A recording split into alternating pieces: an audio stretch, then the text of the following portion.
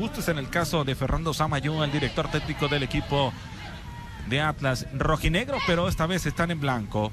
Mariana Pérez se nueva cuenta tocar atrás a, ejercer la presión el equipo de Mazatlán. Roba la pelota. Montero, se viene el primero, el primero, el primero.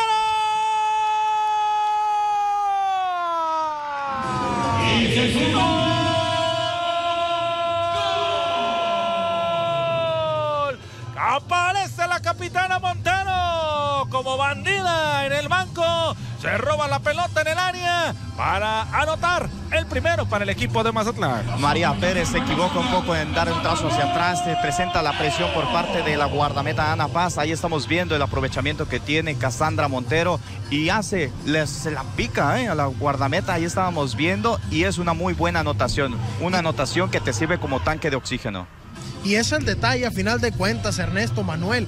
Cuando tú estás impuesto o cuando tu esquema de juego se presta para salir tocando y el equipo contrario te ejerce presión, pueden surgir este tipo de cosas. Ya lo comentamos, Mazatlán FC es fuerte en las primeras partes, lo está demostrando.